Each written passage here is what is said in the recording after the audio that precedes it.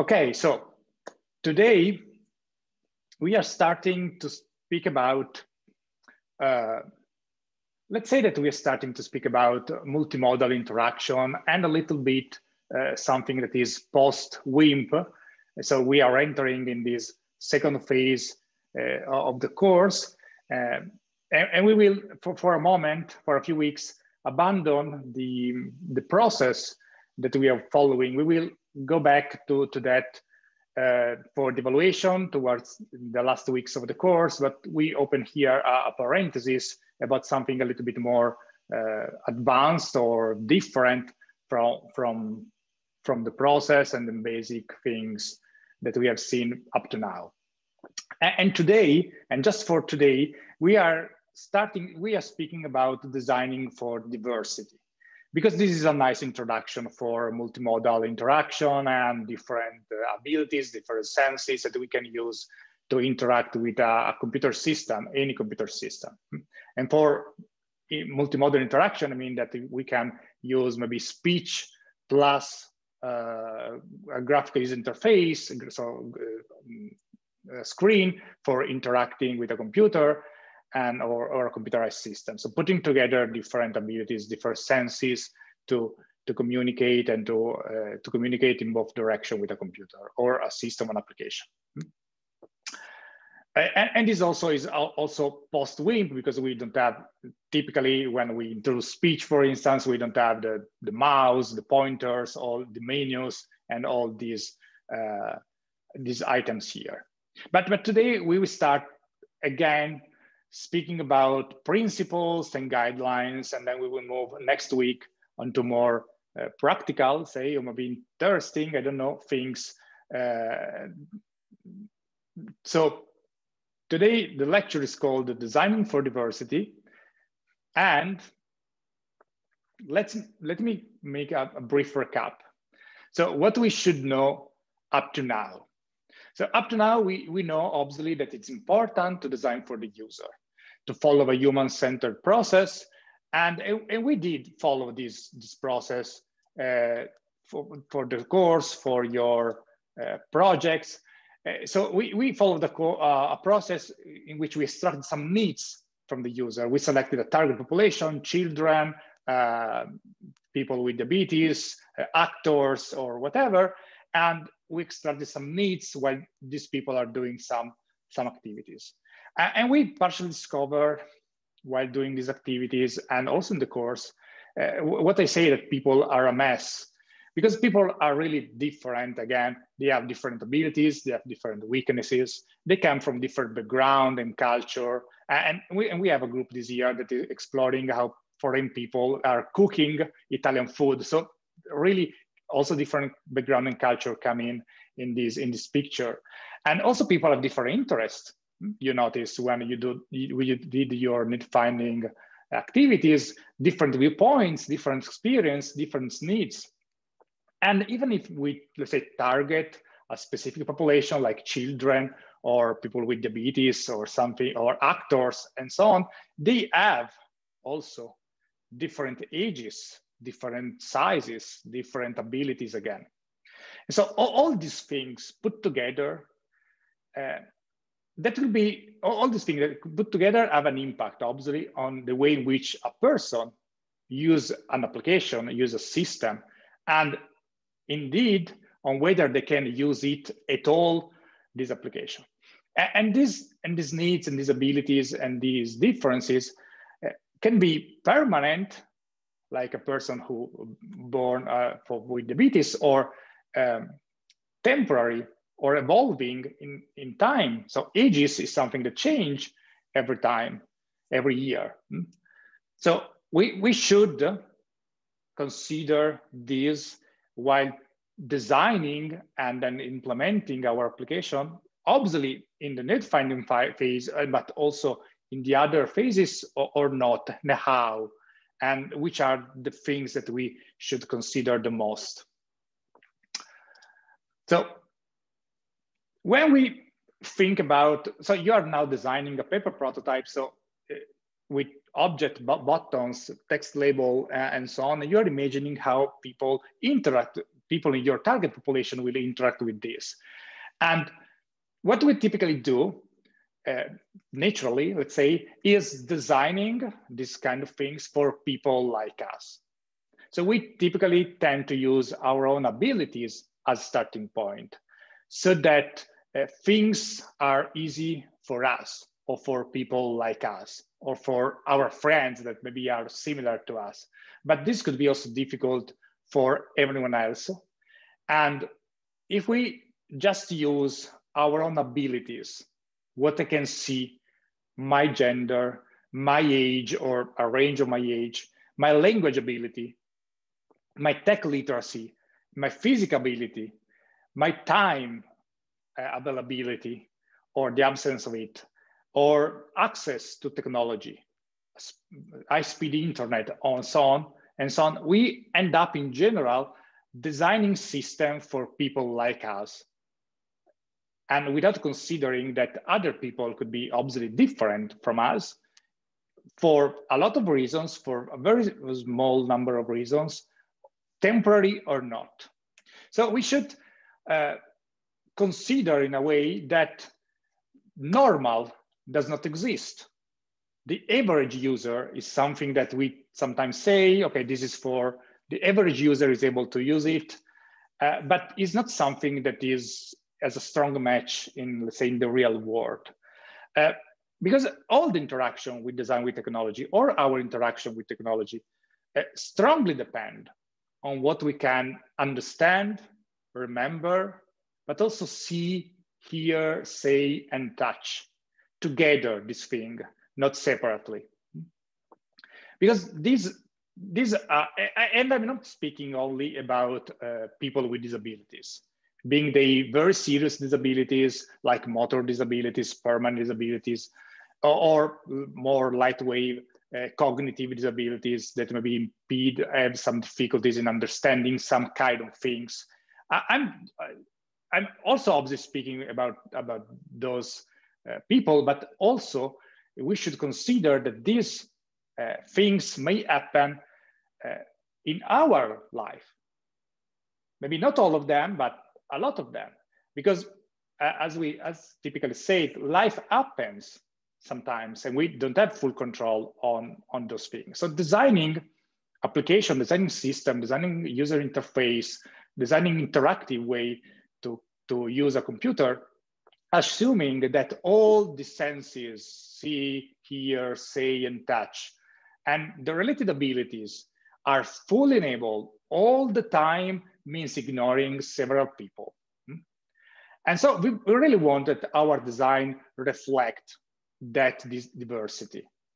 That is, again, not only diversity about people with disability, but also diversity that reflect gender, reflects age, reflect context, re reflect temporary situation, reflects a lot of uh, cultural um, assumption that we may have, uh, and so way of doing things in a country with respect to another, and, and so on. So this, this picture is, uh, to me, quite emblematic. This picture here, the laser pointer is here. This picture is, is taken from uh, um, a toolkit by Microsoft Design and it shows you that for some of the senses, the abilities, the main abilities, it, it ignored the cognitive part, but we can imagine something like this also for the cognitive. It show for uh, every disabilities uh, some situation uh, that are temporary, permanent, or situational. So if you, for instance, design a system uh, that heavily rely on speech, like uh, Google Assistant or Siri or something like that. And, and this is maybe the, the main or the only way of interacting with the system or with specific part of the system.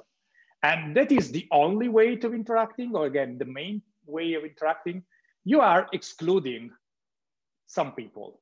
You are obviously excluding all the person that cannot speak. So like people with disability that has non-verbal, that, that are not non-verbal, and, and, and it's one side. But you can also, you also exclude people uh, which have temporary impediment on speaking, like people with laryngitis or that cannot pronounce well words because they have maybe uh, they, they get the flu and they don't have a lot of voice or people with heavy accent. So your system is able to recognize british english very very well and the, the, the italian accent of english is instead not recognized so the system is not working.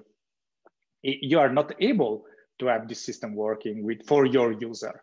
And so you see that here you are just not excluding uh, maybe a small population, non-verbal people with disability, but you are also excluding uh, potentially a lot of other mm, group of people that may have temporary or situational uh, impediments to use the system with speech.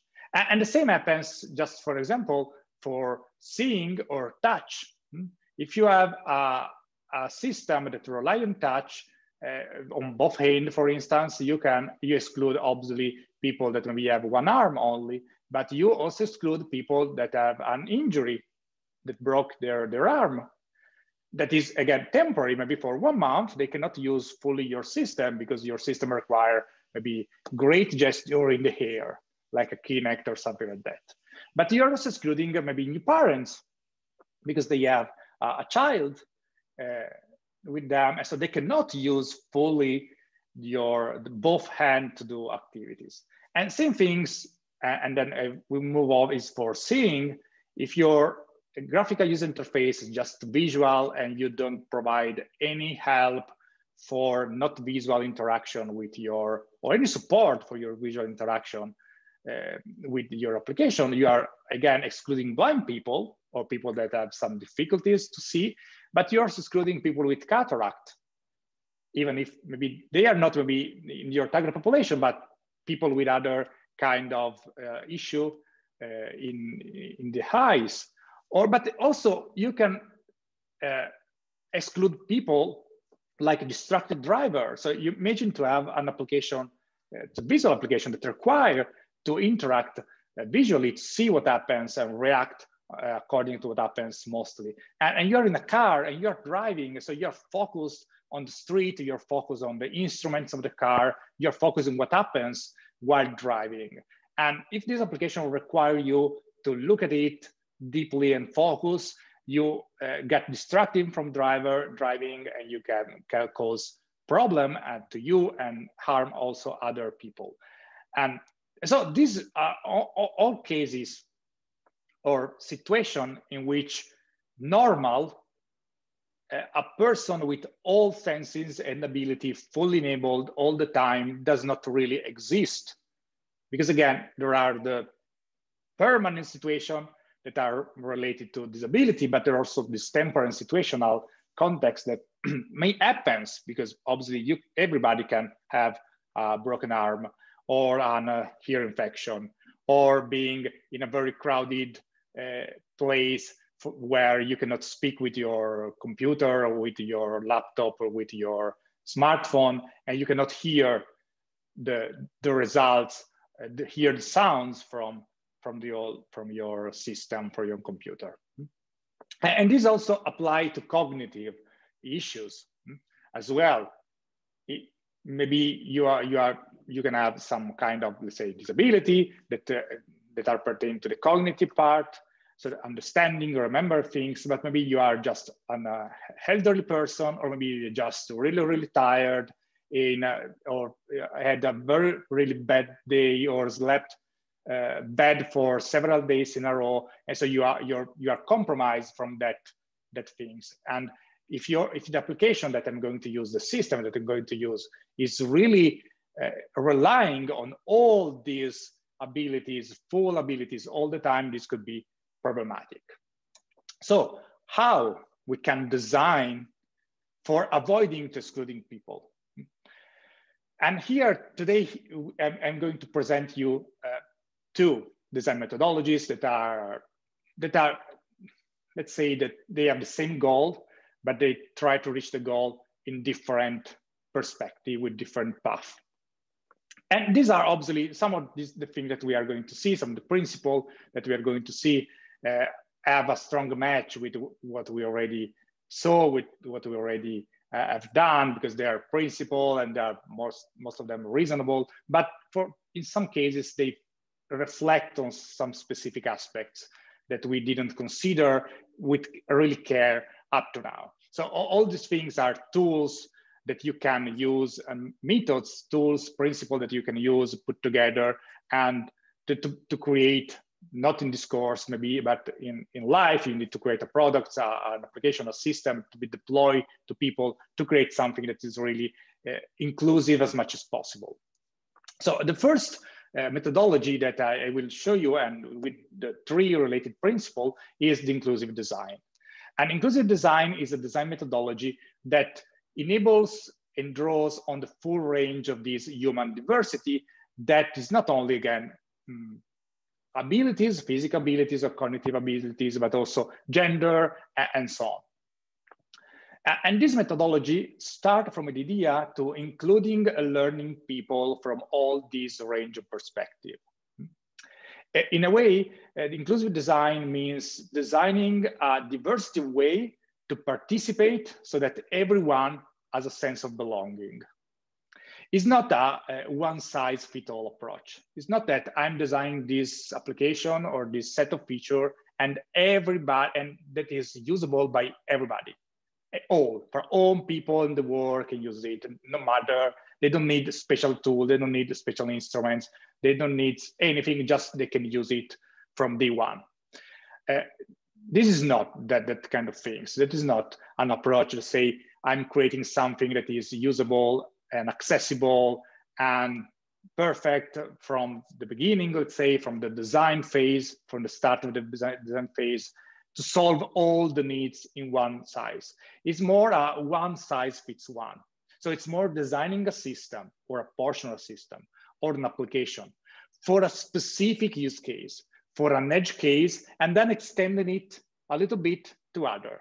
So I'm designing for uh, people who cannot see and then I can extend it for people that have temporary impediment in seeing or situational problem in seeing.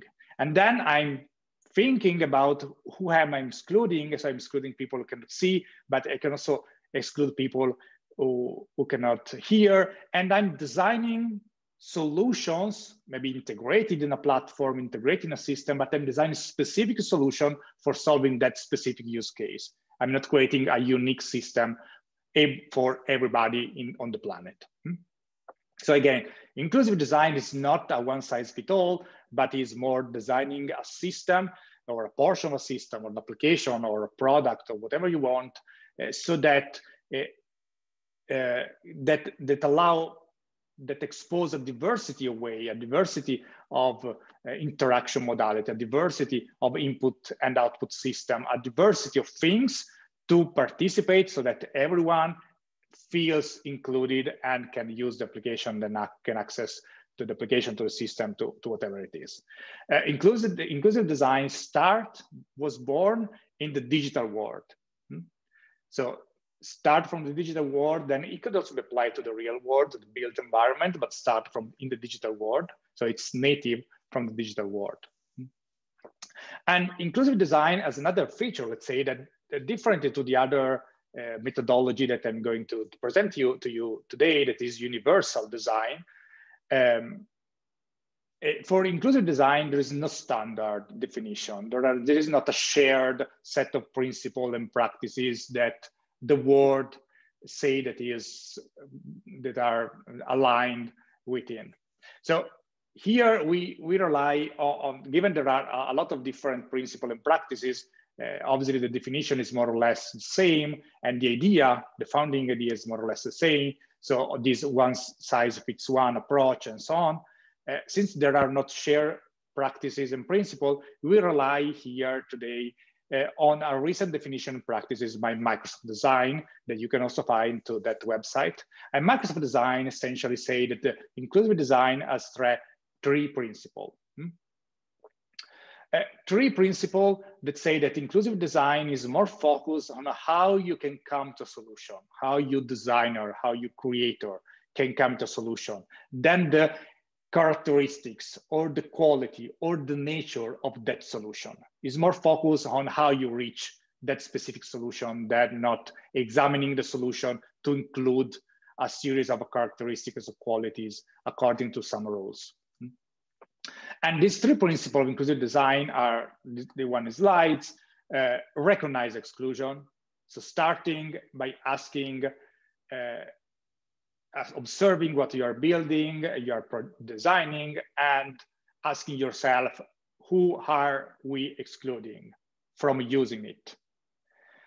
And again, sometimes exclusion happens when we don't pay attention to our biases or because we consider that, uh, for instance, like Italians, that all people in the world behave like Italians. That is obviously not true.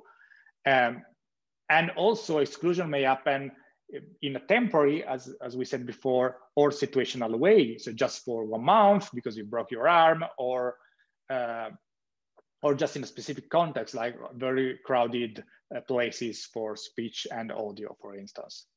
So first of all, asking yourself, these are principle again. So uh, connected to the principle that we, we already saw in this course, they are quite high level, not high level like theories, but no low level specific like guidelines, they are still principle for a methodology of design.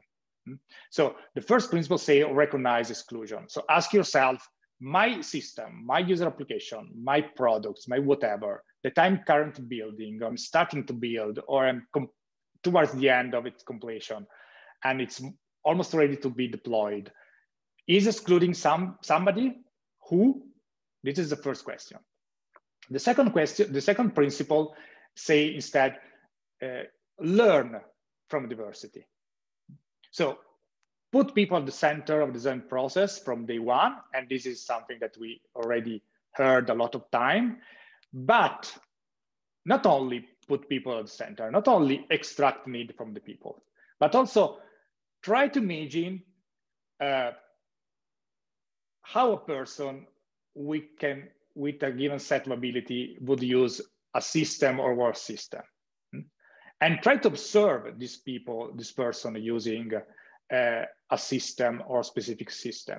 So after identifying who are we excluding, let's uh, observe in which sense are we excluding this person? And what this person can do now with our system and what cannot do? And we can obviously try to imagine this but it's not always uh, simple to imagine this. Uh, in some cases for let's say disabilities it's maybe easier uh, to imagine how uh, an interface or to evaluate evaluate how an interface can be used by a blind person because there are some technical solutions to, to check this. This very specific uh, ability, but we cannot imagine all the situational emotional context, what happens while they're using the application. Because again, as in the example of the car before, if you it's really different to use the application uh, while driving or while in a car or the same application or uh, in a crowded place or while relaxing at home. So the focus that you have in the application, the noise around you, is really different in very different contexts. So try to learn not, not only the need finding pro, need finding phase, but also after identifying the need uh, and also after proposing a solution for that need, try to think and to observe and to extract uh, and to learn from various aspects of diversity. And then the third principle is solve for one, extend for to many. As we said before, uh, you can solve a problem for a person that is blind, but this solution can be extended to many other people that are temporary blind or situational blind or etc etc etc so again three principles. First recognize exclusion. Second learn from the diversity, especially after recognizing exclusion, and, third, and third, solve for that specific edge case and extend a little bit the solution to many, because many can use that uh, for, for, for, the, for the good. And connected to, to this, uh, this, this last point, solve for one, extend to many, there is this beauty of constraint, like designing for, for this one, that typically this one are the most, uh, let's say problematic case, the edge case, the most specific case, like people with permanent disabilities, that in some cases, designing for people with permanent disability can seems like a significant constraint. Oh yes, I, now my application should be usable uh, and accessible by people who are blind. And now from by people who are hard of hearing.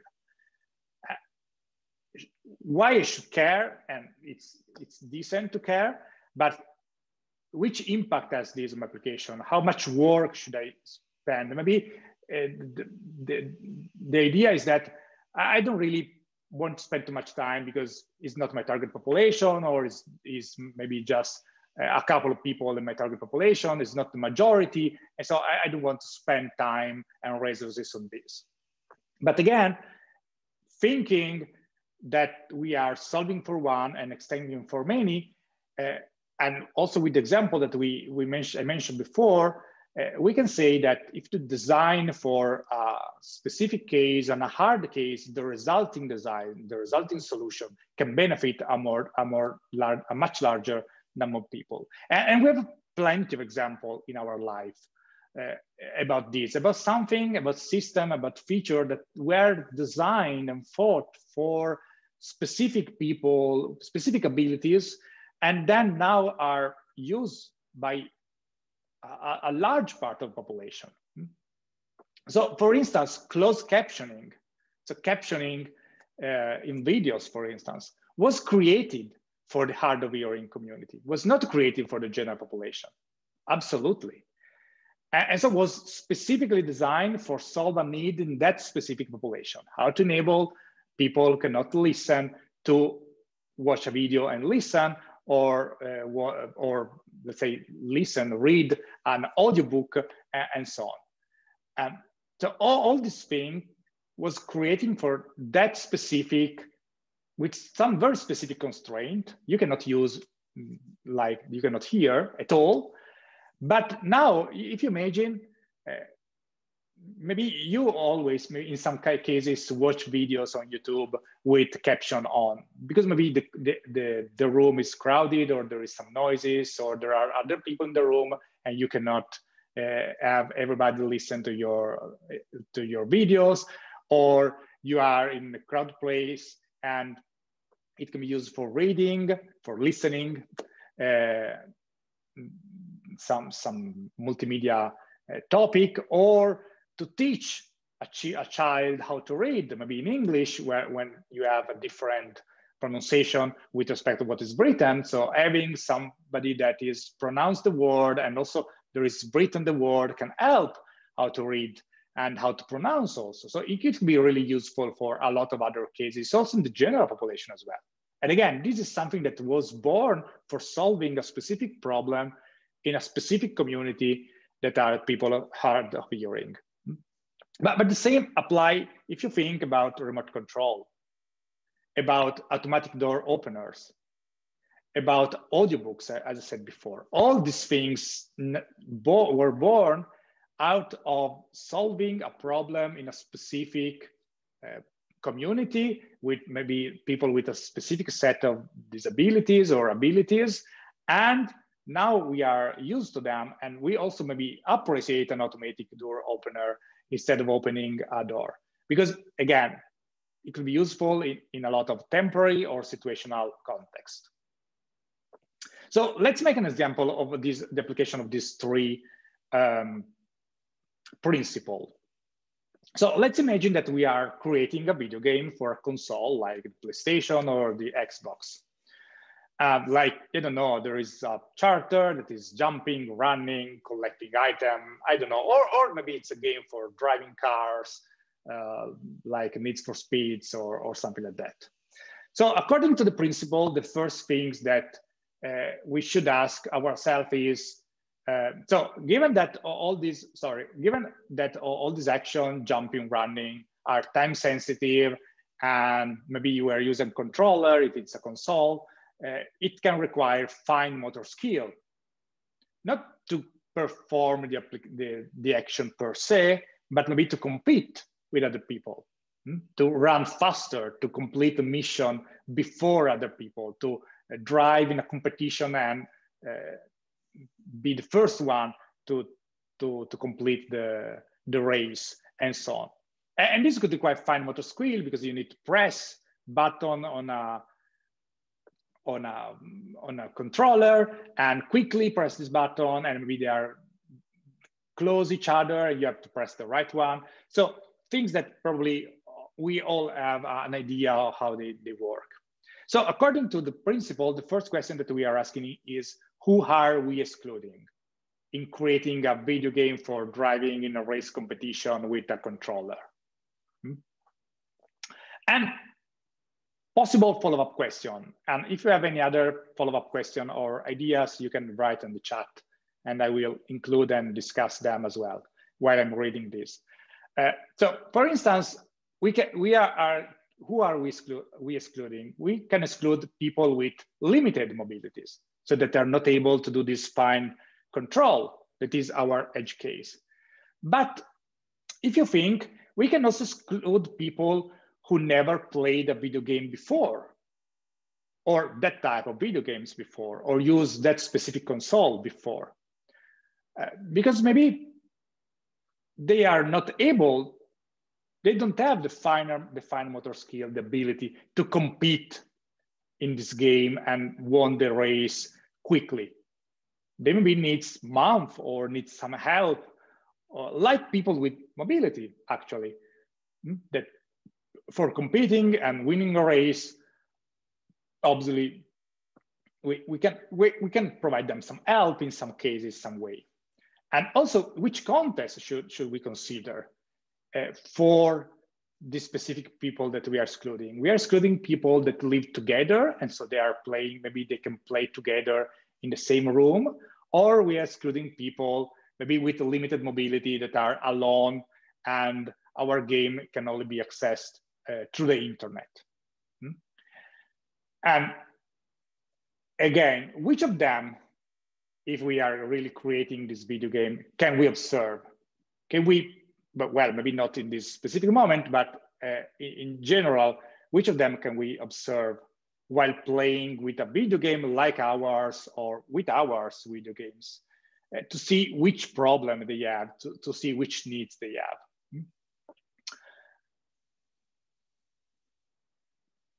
Yes, also, maybe we're excluding people who don't have competent knowledge.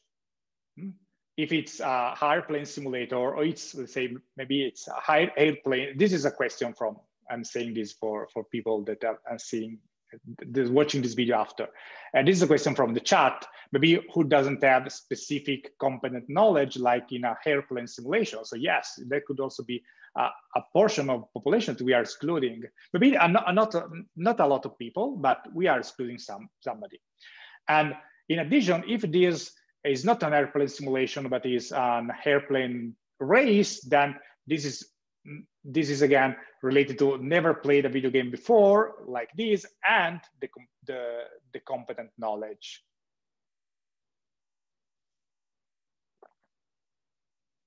And then we, we have a message in the chat to say, but in this time uh, game, a first, a first bot, uh, so the first start of the game, typically they have a good tutorial that can teach the basis. Yes, this is maybe a possible solution uh, for the competent knowledge. Maybe is is not enough. In, in the simulator case, could be uh, could be good. You can, you can also explain technical terms during the tutorial, but you should also not to waste uh, three hours for tutorial to explain everything.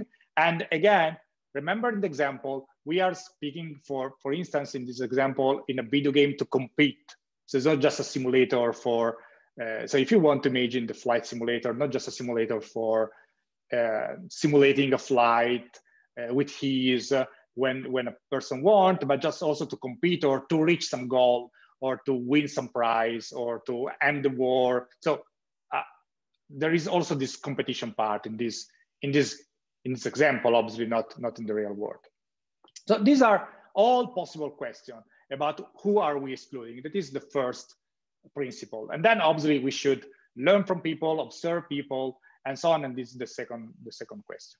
And in the third one, a third principle say how we can uh, solve for one of these, for instance, people who are limited mobilities, something that could be beneficial for other. So for instance, a possible solution could be having a co-pilot mode. Hmm? Uh, so we are setting a specific context, people that share the same room or something like that. And a co-pilot mode could allow two games controller to work together so that two people can control the same charter, car, airplane, or, or whatever. And way copilot so that an advanced or skilled or expert player can play together with somebody somebody that needs more assistance and so it, it may be help in turn so now you can play you can pilot the, the, the flight the, the airplane you can drive the car another case it's too difficult for now and you can switch the, the, the, more advanced player can switch the control or they can play together. So there are different scenarios. But this is a way, for instance, to solving a possible solution for a video game that requires fine motor skill to compete. Hmm? We are obviously excluding all these people, people never played a game before, people with limited possibility. And a copilot mode could be useful for uh, minimizing at least some of the issues uh, or removing at all some of the issues. So this copilot mode could be one solution. And this open gaming of our specific uh, fictionary game to various kinds of people. Obviously, people with disabilities, also temporary injuries that cannot use uh, quickly, uh, as always, a controller, but also novice gamer that could be uh, accompanied by people. They can be, uh, they can have a person more expert that teach them the, the strategies, the secrets, the, that show them that they have to press uh, maybe uh, faster than these or do this action and the others, kids as well. And also people who would just want to play together without competing with other, uh, because maybe the expert is one that's competing and for the, the, the slower part, you can have the other that is playing again the, the flighting, the, the, the airplane or driving the car and so on. So you're with just a possible solution like a copilot mode for uh, maybe people with limited mobility in fine grain control, so just fine movements, not large movements. You also open this game to various kinds of people, different situation. So this is the, the main idea behind the inclusive design. Design for somebody and then that are currently excluded and then extend it to all various other people that can benefit as well of this feature or these functionalities. And this happens not to be just a, an example uh, for, for fictional example, but this is something that the Microsoft did for the Xbox One, uh, in which they introduced this copilot mode for that specific reasons by solving the specific problem. So you can, in the option of the Xbox, you can turn on and off this copilot and having two people using this controller, the Xbox controller, play together in this modality. So there is an expert, let's say player together with a non-expert or with, with a player that is more difficult. And this is solving this specific problem. It could be beneficial. It could be, a, it, it obviously is a set of feature inserted in a much more complex system because it's not, uh, in our example was in a game, here is inserted at the level of the Xbox. So potentially is useful and used by all the games that run on the Xbox platform. So this is not an application per se, it's not a system per se, it's just a feature or a set of features related to the application, but a feature that apply to maybe many games of this of the console. And so it could be uh, beneficial to various application, moving it to, let's say, a, a, system level. But, but the idea is the same, adding something or move, changing something in a, an application, a system, in a part of a feature in a complex system to solve a specific need. And here the specific need is people with limited uh, motor fine, fine control, motor fine control, and uh, for playing competitive game for which maybe they, they need some, some, need, some help. So now let's do this, this game again. Let's ask again, uh, who are we excluding now? Hmm? With this copilot mode, are we excluding somebody or not? So one person, one, one thing that comes to my mind is that uh, we are excluding for gaming uh, people who cannot use this. Who cannot not only have the fine motor capability to use the game, but they cannot have the motor capability to use this. And so can we apply this again and create a copilot to, to uh, for also solving this? Uh, well, actually, Microsoft did this for the Xbox, and this is not an advertisement for, for Microsoft for the Xbox in general, but it, these are really nice things that they, they did. So it's it's used, it's it's interesting to to examine also this, uh, and this is quite specific for the Xbox. So this uh, this this idea is very nice.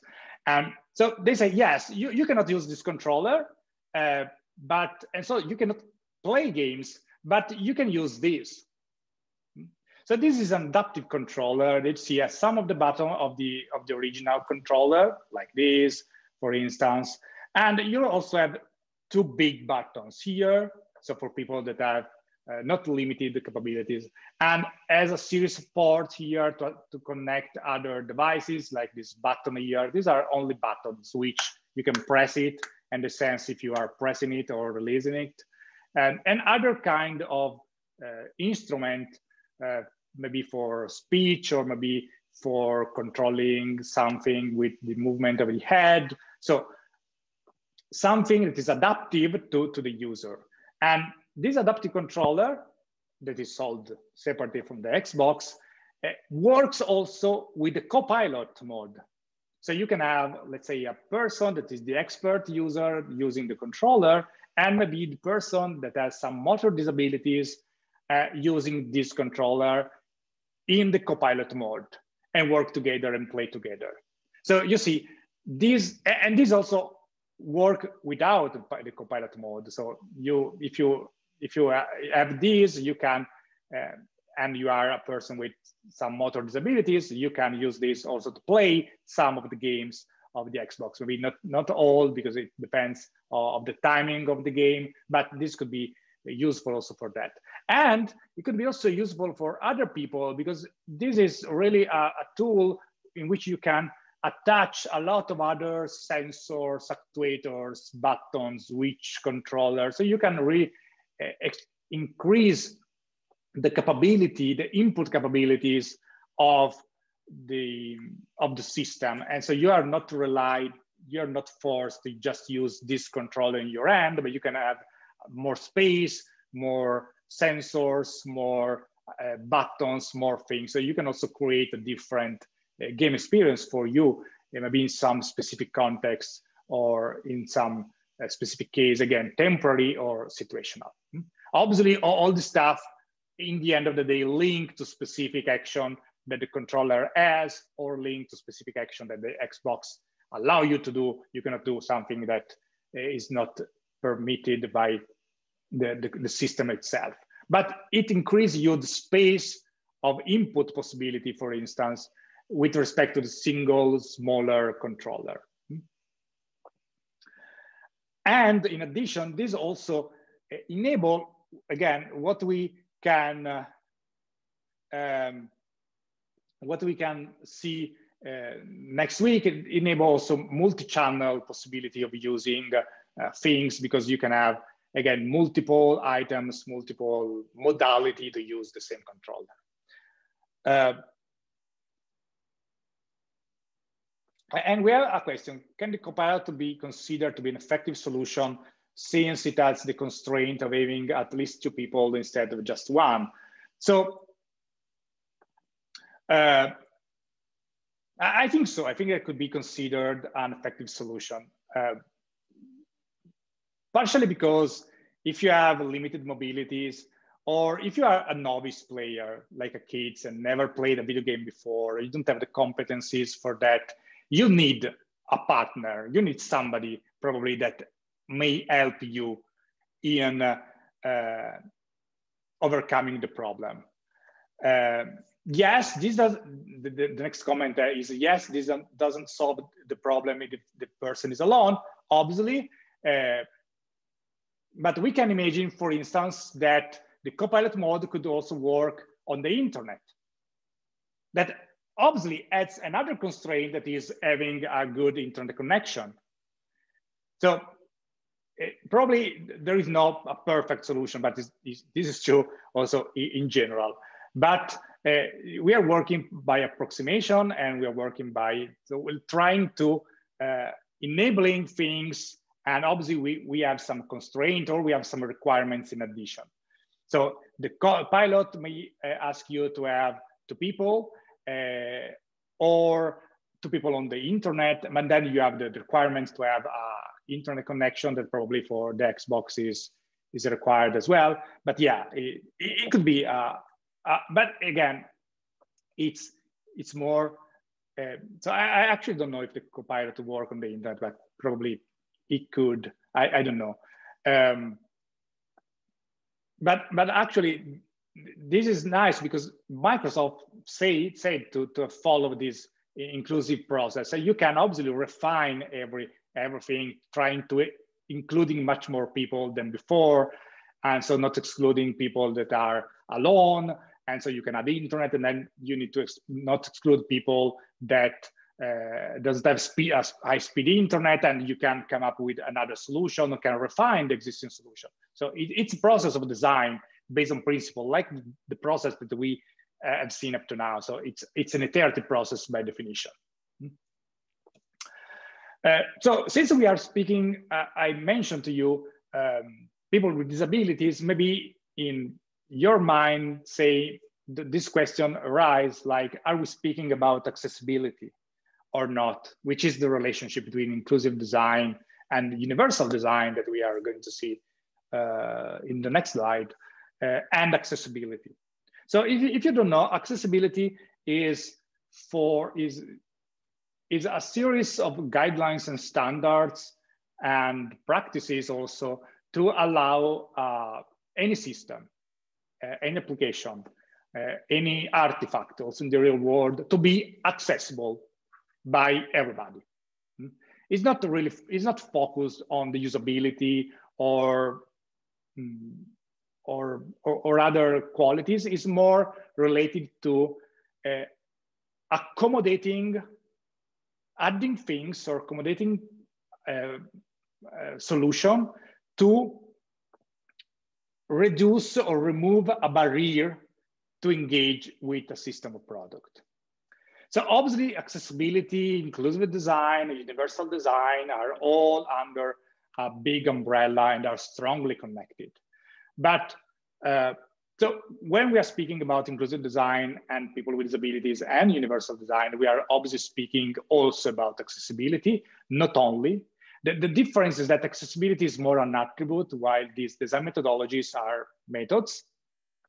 Uh, accessibility is focused primarily on people with disabilities, not only, but primarily, and ensuring again that there are no barrier to serving them adding accommodation to solve a technical, physical, cognitive barrier so that they can engage with a system of product.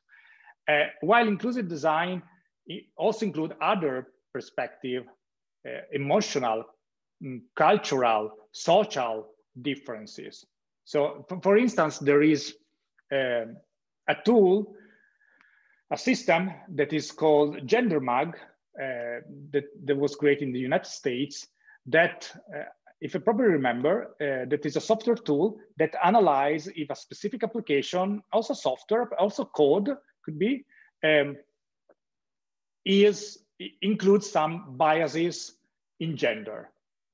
So if you have binary gender, male and female, uh, that check that your languages, your action, your procedure are not biased typically towards uh, the male gender.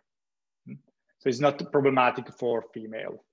And this is a tool that has nothing to do with accessibility, but is something for promoting inclusivity because it's not just for uh, people with disabilities or a set of ability or set of specific abilities. Hmm? And so this is called the GenderMag. Uh, and you can also uh, have more information about it if you look on the internet. It's something created in the United States. And it should be open source and free available uh, to check these things about gender biases um, in, in product, in interfaces, in etc. So inclusive design as a method will make probably at the end of the day, the system more accessible as a result, as we have seen the example of the Xbox, but it's not a process for meeting all the accessibility standard. Hmm? Accessibility has some standard that are standard ISO that are in some international law that have some guidelines, so not principle guidelines, so more low level, and you are not fulfilling guidelines and standards and laws by following, simply following a process according to, to principles. You can, you should include accessibility check.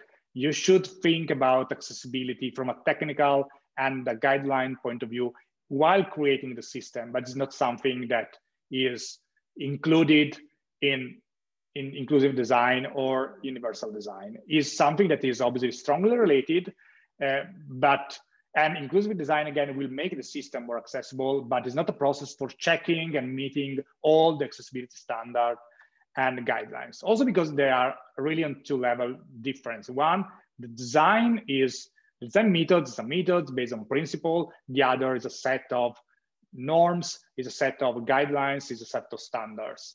So obviously there are some there are some point of contacts, but there are also, also some really difference. And, and, and finally, accessibility and inclusive design obviously work together and should work together to make experience that are not compliant with standards, not just filling a checkbox, okay, this is done, this is done, this is done, but then it's terrible and not usable by everybody. But yeah, it respects, it's normatively respect accessibility standard, but it's usable for everybody. And, an example of this, one of the uh, accessibility uh, recommendation, for instance, for the web, since we are working on the web, is that all the image should have an alternative text. So that a blind person or a person that use a tool for reading the screen without seeing the screen, and this tool are called screen reader, uh, can understand not only the text that is in your web page, but also obviously the image in your web page. So if you add an alternative text to every image in your web page, on your web application, whatever, you are compliant with the standard. You're compliant with the guideline that say put an alternative text. But then if you have uh, an image and the alt text is empty or is uh, something like this is the alternative text or something meaningless like this, you are you are compliant with the standard, obviously, and you are complying with the guidelines. So the check is passed, but uh, you are not really creating something that is usable because if you have a complex graph and the description is this is a graph, you are not really providing information for people that cannot read, cannot see the, the graph that is on the screen. Hmm? So these are things that work together. Universal design. So remember that inclusive design is about uh, one size fits one approach. Universal design instead is a one size fits all approach. So for universal design, you have to design interactive systems that are usable by anyone with any range of abilities using any technology platform. This is the goal of the universal design methods. And the principle of universal design reflect this. So this is, again, not focusing on edge cases and trying to stand a solution to the person that can benefit, but is it's more like, let's do something that can be usable by everybody in the same exact way. So without adding specific tool, without adding uh, a different input modalities, just something that is the same for everybody. So this is the, the main idea of universal design. Uh, and typically different from, from inclusive design, Mm, universal design is stronger at describing the qualities and the nature of a final design more than the process in which a designer or creator comes to that specific solution. And universal design sometimes does not involve the participation of some excluded communities, more focused on abilities in particular. And another difference with inclusive design is that universal design was born for the physical world, for built environment. And we see a lot of example of universal design. We should see a lot of example of universal design in the built environment, uh, a little bit less in the digital world. Uh, but universal design can be obviously adopted in a digital world as it is, again, a set of principles that are quite general and quite high level. So universal design, inclusive design, accessibility are different approaches, different methods, at different level, but obviously they have similar goals and results. Even if different exist, there are tools in, in an arsenal to be used and in different contexts, in different situation, and they bring a different perspective to the same um, to the same area, to the same topic that is again designing for diversity, for inclusion of uh, as much people as possible. And let me just open up another parenthesis uh, about universal design, inclusive design. In there are typically two schools uh, of, of thinking about universal design and inclusive design. There's one school that say universal design, inclusive design are actually the same thing.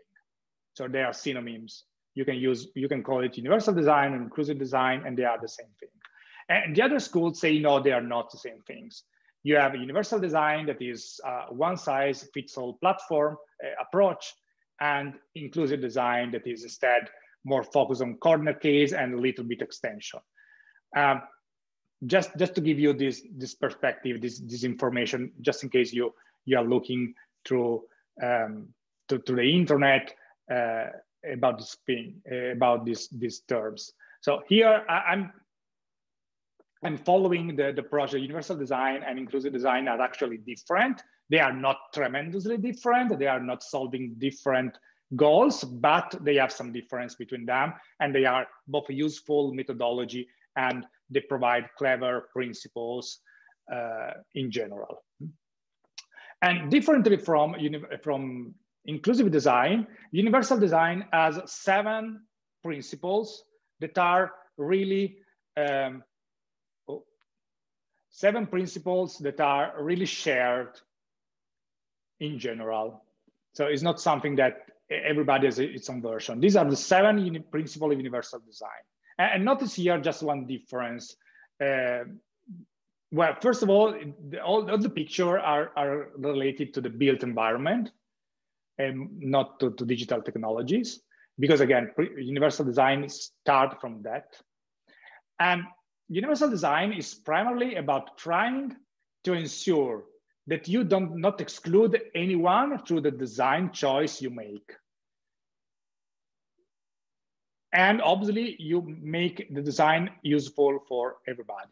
But also notice what is written here, that universal design, the principle are the design of products and environment to be usable by all people to the greatest extent possible without the need for adaptation or specialized design.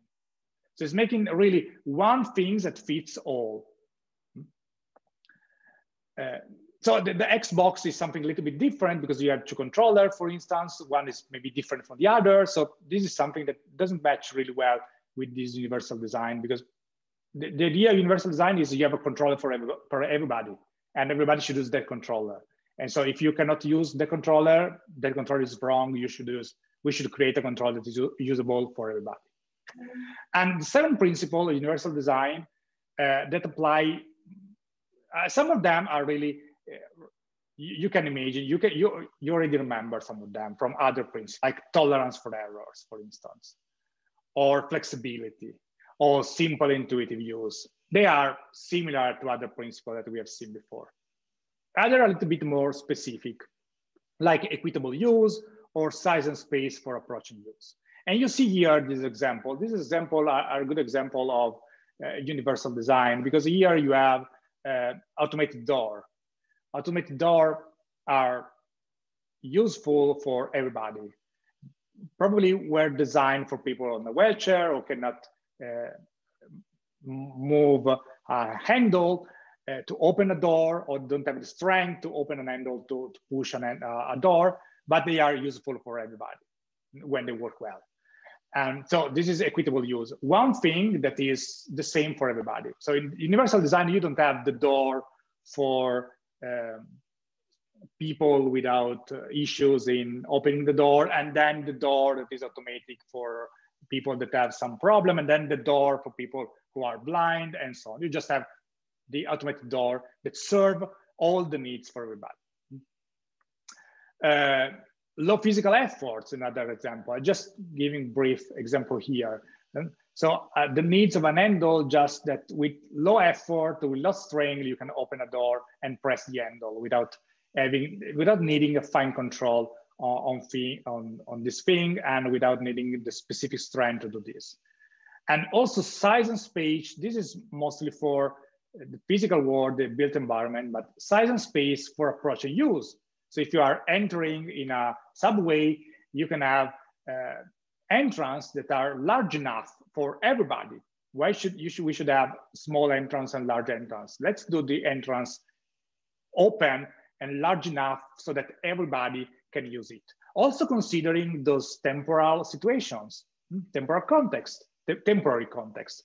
So uh, a large things here could be useful for a person in a wheelchair, but also could be used by um, a family uh, with a child uh, or used by this man here that, well, let's imagine that he needs to enter in a, in a space like this. But if you carry on something, you can also use this additional space to be to, to move easier uh, with some bags, for instance, with you. So again, universal design is more about creating something that is as a universal use, and it's one thing that is can be used for everybody, not several things to answer several needs. Hmm? And here we have two examples of universal design and inclusive design. So the first one is an example of universal design. You know what is this?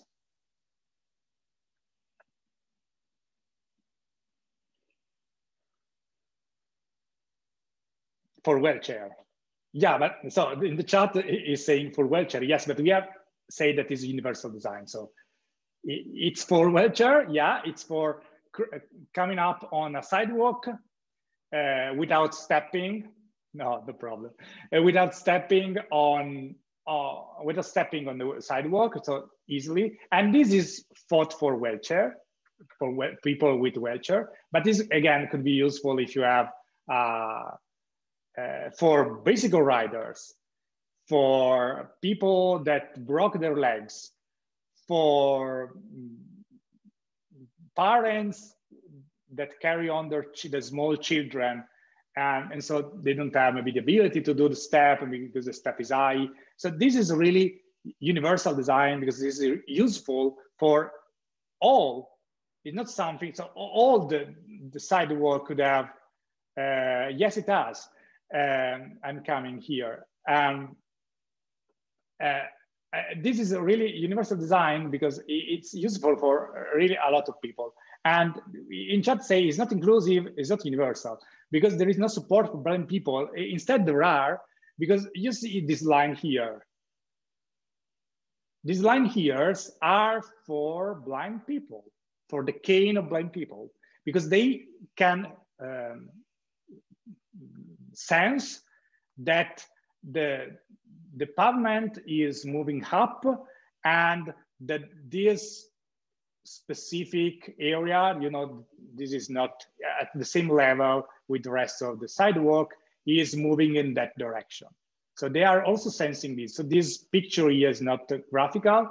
It, this, these lines are for helping people who are blind with a cane to know that here there is uh, a way to step on the, the sidewalk and that is that shape and uh, is, is moving on. So all these things uh, are also useful for, uh, for, for, really, this is a good example of universal design.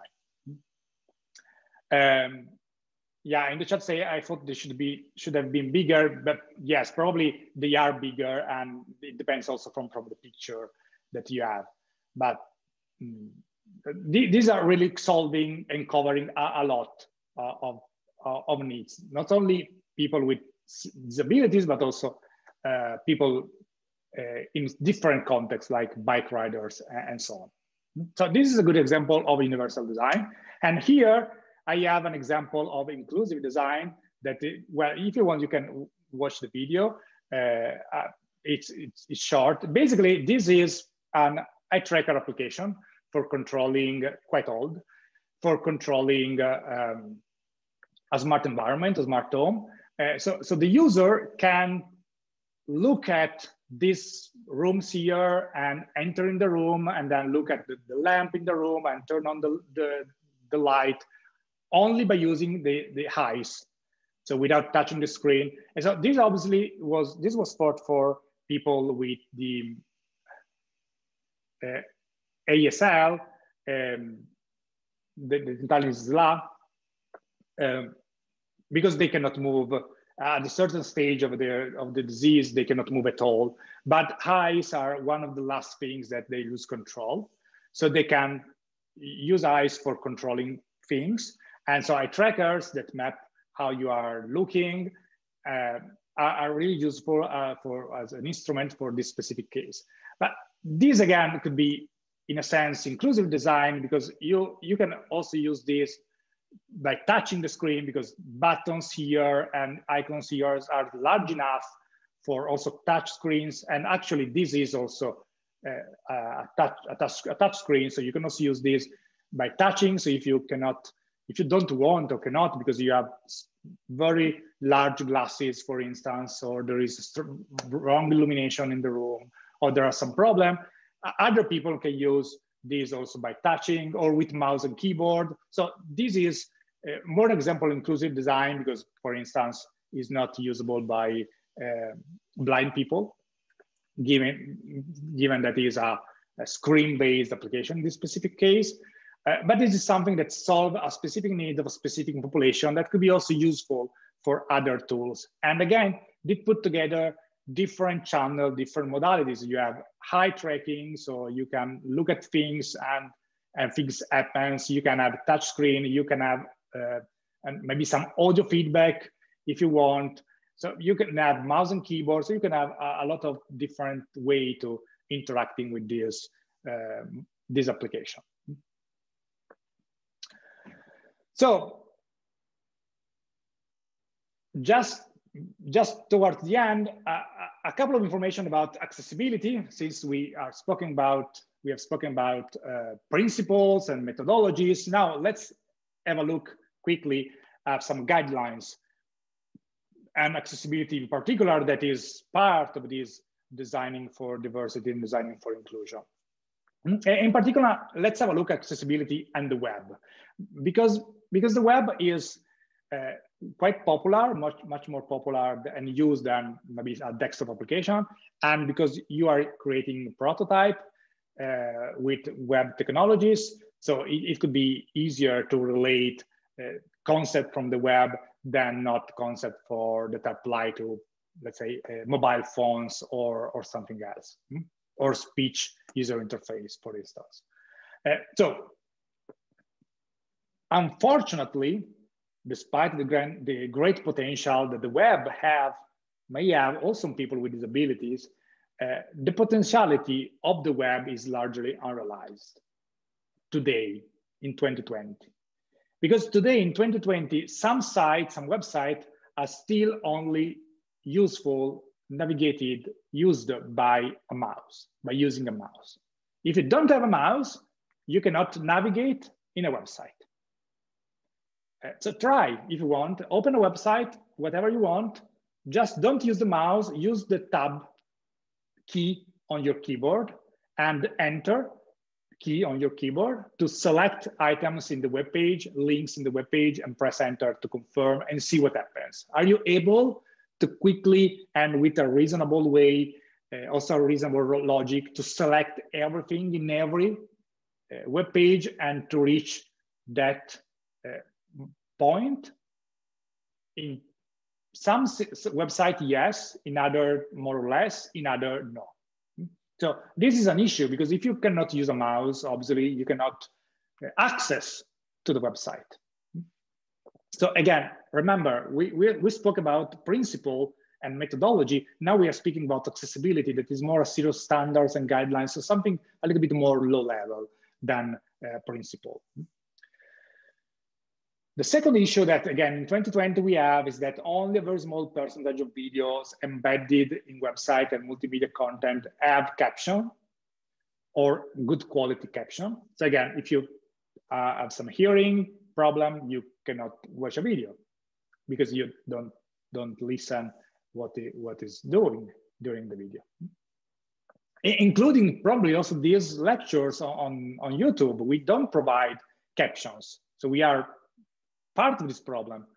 Uh, we are not providing captions.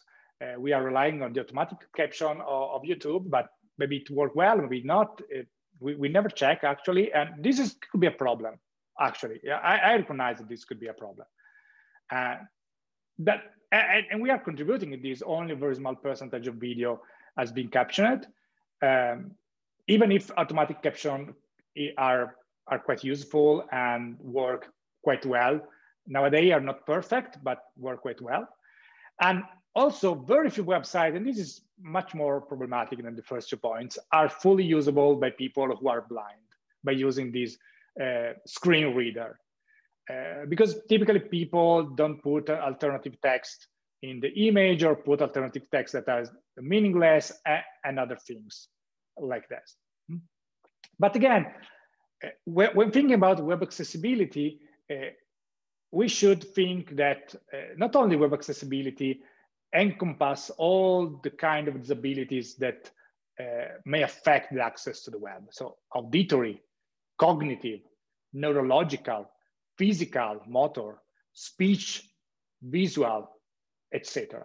But also impede people that have some situational or temporary impairments in doing that. If you broke your leg in your main hand and you cannot use a mouse, how can you navigate on a website if you cannot use the mouse?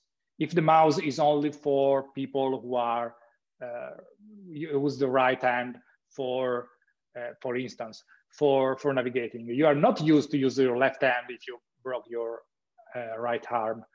And so you have to move the mouse from the other side, but it's, it's difficult. And it's the website supporting these difficulties, or if the website providing alternative ways for, and again, uh, we, we are more in the inclusive design domain, alternative ways of enabling you with that you have a harm broken to navigate the website with ease or not. And so the, the answer is typically not.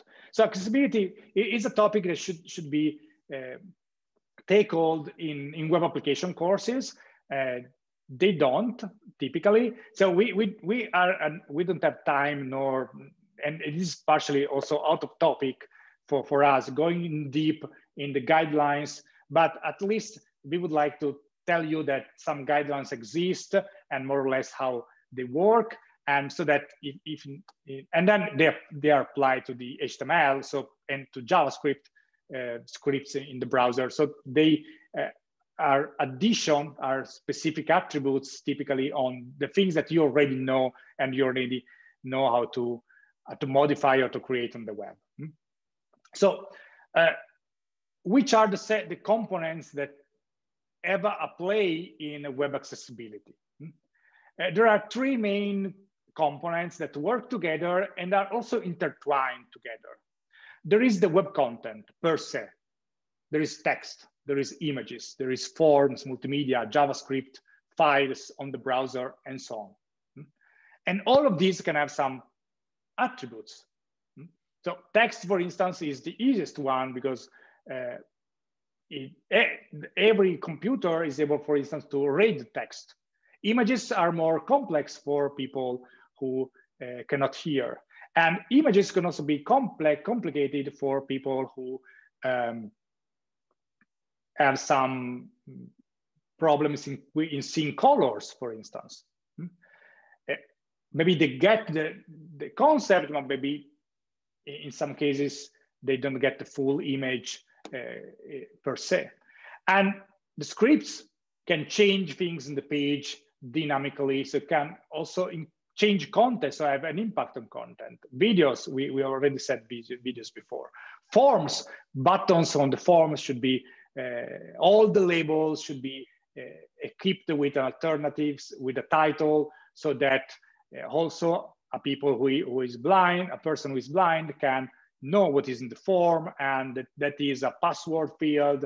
And so it doesn't expect the, the screen reader or software to read the password out loud in, in speakers because it's a password field. So the, the software behave different from the, the address field.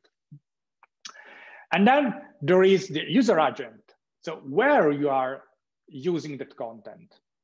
You are using the content in a browser and desktop, in a voice browser, that is a browser without screen at all, in a mobile browser, so that has different screen and maybe it's responsive, the web applications, some parts are not there. And if they are not visible, should not be, for instance, again, in the case of people who are blind, should not be read because they are not on screen, and so on. And then the third element is authoring tools. So code editors so if you are creating an HTML page, a static HTML page, you are the developer responsible to put the alternative text to the image, for instance.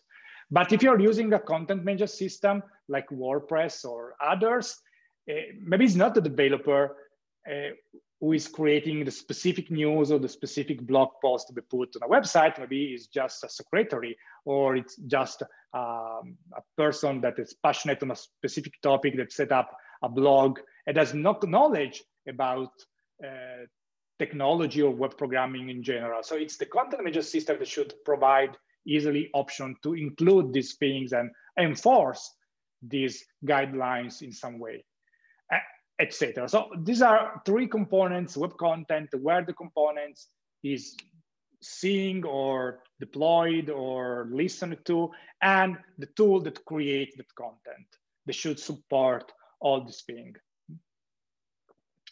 And for accessibility in the web, there exists exist an initiative of W3C that is called the Web Accessibility Initiative that is a quite old initiative and is still uh, useful and active. And, and this WAI, mm, Web Accessibility Initiative, provides a set of guidelines for accessibilities guidelines and suggest some tools to check that your web application is following the guidelines. So you can follow the guidelines during the, the design, the development, but you can also check with some automatic tools that some of these guidelines are respected, given that most of them are about uh, HTML, most of them are about changing HTML uh, attributes. So these are guidelines for enabling people to access information and data and, and uh, activities on the web. And so these are four, four guidelines. The first one is the WCAG, is the Web Content Accessibility Guideline, is probably the most uh, used and famous of the, of the three of them. Uh, and it's something that is useful for developer and, and users in creating web page and editing web page.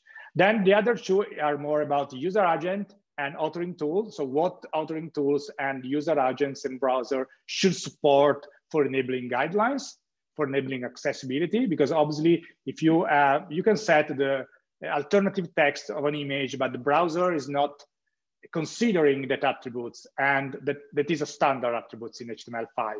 And the, your content manager system is not uh, traducing that field in HTML or does not present the field in the graphical user interface, it's, it's useless again to have, so you are not fulfilling these for, for due to a, missing, a missing thing in the authoring tool. Hmm? So these are the guidelines more or less. The first one related to the content. The second is about user agent accessibility. That is for people who are creating browsers and so on. The authoring tools is more for people who are creating authoring tools like content management system. And uh, then there is something that is a little bit new, while the uh, WCAG exists from years and years and years and is working towards the version three. Uh, this, this last one, the ARIA attributes for accessible rich internet application are a little bit newer and are related to all the function that JavaScripts in the browser allowed us to have in recent times. So all the single page application features, all these capabilities, interactive capabilities that uh, JavaScript enabled. And since these are capabilities that are not maybe in HTML or that can be generate some HTML, so you can set some attributes directly, there is a series of guidelines uh, in this case, specific attributes that are called aria minus something or something minus ARIA uh, for making rich internet application accessible. And these guidelines are also adopted in laws. For instance, the Italian law that's called Acta Stanc, uh, Act, Stanca Act, uh, the, the Legge Stanca, uh, of 1994 and modification and updates uh, promotes the accessibility of information technologies and basically say you have to follow the WCAG 2.1 uh, that was the, the latest WCAG, consolidated WCAG guideline that we have. So series two of the guidelines for checking and also recommend and mandate that public administration website follow these guidelines so that they are accessible. And you see, this is not something about how you design the website. It's just a check as something that you put after to verify that some attributes of accessibility are there and are working well. And then maybe you are excluding a lot of people, but at least uh, what you have is accessible according to the standards, according to the guidelines, and so on. And, and most of these are these are obviously international, and they are adopted in Italian law, but also at the European level, they're adopted, and in many countries, they are adopted and referenced directly to the WCAG uh, guidelines. So briefly, uh, just for uh, giving you a, an overview of how WCAG is made, and then if you click here on this link, you can go on the website where there are all these principles, uh, all these guidelines. So basically, the WCAG are split in different uh, items. Uh, you have some categories that they call principle. Then you have guidelines related to these, uh, these principles, like provide a meaningful uh, text alternative for images. Uh, the element should be adaptable. Uh, all the website should be accessible with keyboard. So if you don't have mouse, you can use the website only with a keyboard. Uh, everything should be readable, etc., etc., etc. And then defines for each guideline, for, for most of the guidelines, three level. Uh, typically, uh, the contrast is another thing. So should, you should provide a sufficient contrast between the background information and the, and the foreground information. So you cannot write black on, on a gray background because there is not enough contrast. Uh, that in general, but in particular, uh, this also apply. And, these are the three levels, uh, typically, where level A is the easiest one, and the level AAA is the hardest one. And the recommendation for most of these guidelines is to fulfill the level AA. That is, that includes all the previous level, obviously, and add something more specific. So for instance, in the contrast, if you fulfill uh, so a proper contrast between the background color, the foreground color, like the image or the color of the, of the screen, of the page and the text on the screen. Uh, if you fulfill level AA, you cover uh, like 90% or 95% of accessibility issues. If you cover the AAA, you are covering probably 100% or 99.99. But level level double A is just really good. So it's recommended to at least stick with level double A in most of these guidelines. Obviously, if you want to uh, follow the level three, the level AAA, it's better, but in some cases, it's also limiting for some uh, Uh, choices like in colors and level AAA, it's, it's a little bit more difficult to, to select. There is not a, a, a lot of range of color that respects the, the, the level AAA, and that also pleasant to see for for everybody. And just to give you, so this is the, no, this is the video, this is the website. And if you go, for instance, here, how to meet WCAG, you see here all the guidelines. You can see the full description. So for instance, uh, let's have a look at the,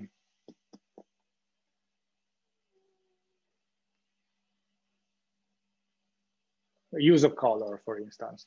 Uh, use of color, uh, and then you have a series of technique and link of other guidelines to say, for instance, if the color of particular words, background, other content is used to indicate information.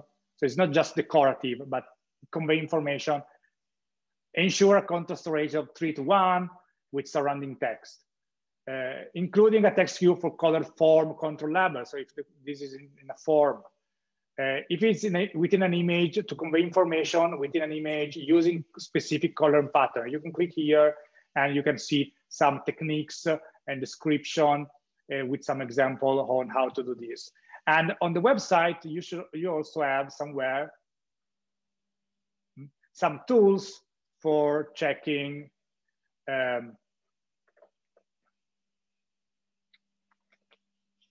hmm, you see here also the, the ARIA things and uh, you, you in the website, there is also some tools for checking the, the, the, that the website is respecting these guidelines. Also, for instance, Chrome as uh, I think in Lighthouse, yeah, you can generate an accessibility report for either mobile and desktop. So you can generate a report for a website. I hope this website is fully accessible.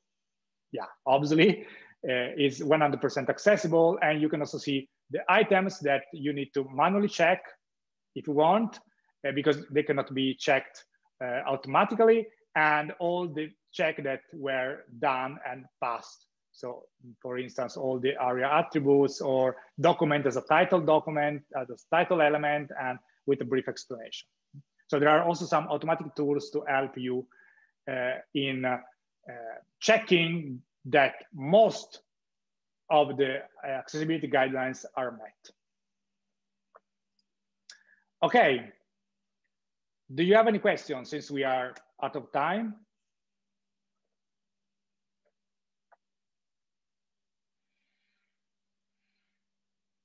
Okay, while you think about questions or if you don't have a question, I'll stop recording and um, to, tomorrow we will have a new lab that is about wireframes. You are asking, you, we are asking you to create a wireframe of your selective prototype. And next week you will do in groups. So one group with other, with another groups, the uh, heuristic evaluation of your wireframe. So the wireframe that you are creating tomorrow is needed to be, it should be re ready for use by next week. But more on this tomorrow in the lab and in the text of the lab for tomorrow and next week.